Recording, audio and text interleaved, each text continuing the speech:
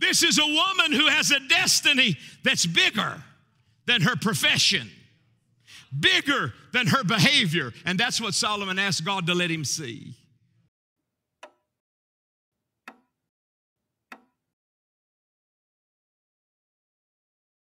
We read where God appears to King Solomon in a dream, and in this dream, God speaks directly to King Solomon and says to him, Whatever you ask of me, I'm going to give it to you.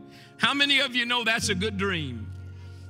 God was in it, God showed up, God did the talking, and God performed what He said. And I would like to read for you the prayer that Solomon prayed in response to God visiting him in a dream. He said, Give therefore thy servant an understanding heart to judge thy people, that I may discern between good and bad.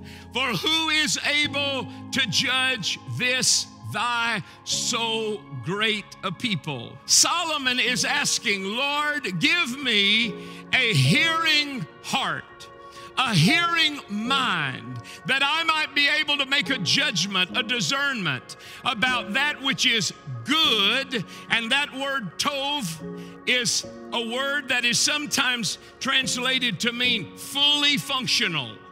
Lord, give me a heart to discern between that which is fully functional and, and bad, ra Tov is good, Ra is bad.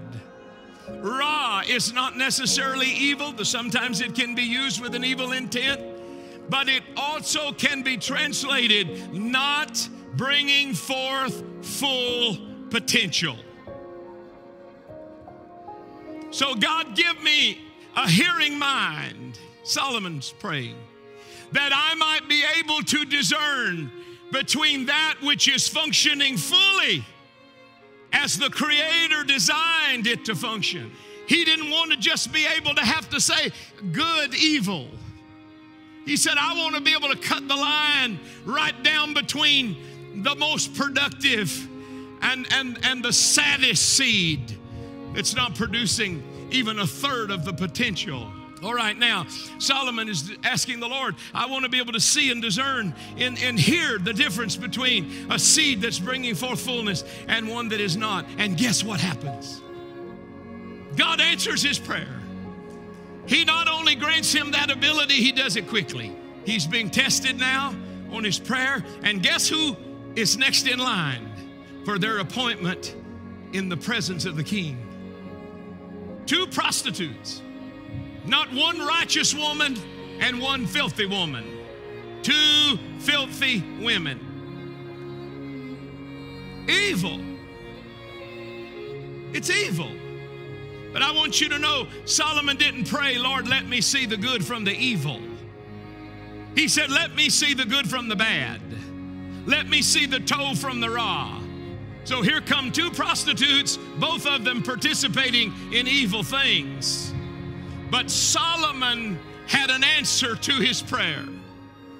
Now, the Jewish sages believed that he knew immediately who the mother was, but he knew it was very important for those witnessing this moment to see who the mother was. But because of the wisdom and because of the hearing heart to discern the difference between fully functional and not, he said, Bring me a sword. That was really all he had to say. He said, Bring me a sword, and we're going to divide the baby. And the real mother steps forward. And she does not say, notice this, she does not say, I'm the real mother. Give the baby to me. You know why? That would have been wrong. Not evil, bad. That wasn't going to produce anything. See, just a moment ago, she'd been selling herself or giving herself away. She wasn't thinking about the welfare of that baby when she was choosing her profession. and her lifestyle. This is not a noble woman. But this is a woman who has a destiny that's bigger than her discipline. This is a woman who has a destiny that's bigger than her profession, bigger than her behavior. And that's what Solomon asked God to let him see.